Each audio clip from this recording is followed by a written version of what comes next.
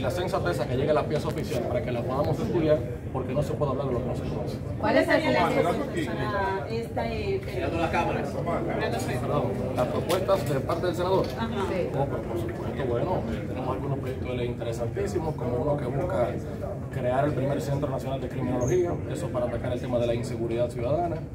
También uno que refuerza la institucionalidad de nuestro país, que es el que busca regular los procesos de transición gubernamental. También vamos a luchar desde este Congreso para que se indexe por inflación el salario de los trabajadores grabados eh, todos los años, que es una especie de reforma fiscal que se le da a los trabajadores y lamentablemente no se cumple.